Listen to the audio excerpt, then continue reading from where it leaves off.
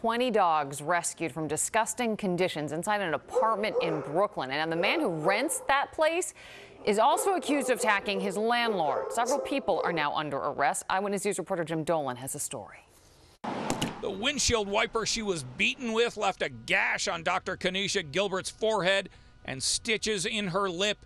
She and her husband were beaten outside their home in East Flatbush yesterday in a dispute over the shocking condition of more than 20 dogs. They had eight animals, eight in this one cage. The tenants kept and bred the dogs in what the police describe as deplorable conditions in a filthy upstairs apartment. Many of the dogs were chained to the floor 24 hours a day. This can't be more than two feet long at best. Tied here, C3, no space, defecated in its own feces. Uh, I mean, this is like really bad animal cruelty.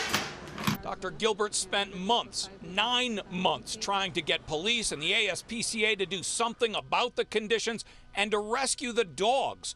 No one would help, either the dogs or Dr. Gilbert's family. My kids had to move out of their room uh, because the noise from the dogs would disturb them and wake them up at night when they were fighting, especially when they were hungry. Um, urine from upstairs would come down the walls.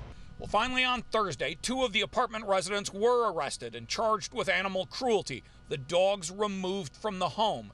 But when Dr. Gilbert, an obstetrics and gynecology physician, got home from work, one of the residents was waiting for her. He broke the windshield wiper off the car, and that's how I ended up with that mark on my face. And once that first act had been committed, an avalanche followed. Soon, others from the upstairs apartment joined in. Dr. Gilbert was beaten. Her husband was beaten, some of it while she was on the phone with 911. Police came and arrested all four residents of the upstairs apartment and charged them with gang assault. It was traumatic for her whole family. Um, my children were inside the whole time. They were looking out the window. Um, they saw their parents being violently assaulted. The courts will almost surely issue an order of protection for Dr. Gilbert and her family, but she's not sure that's enough.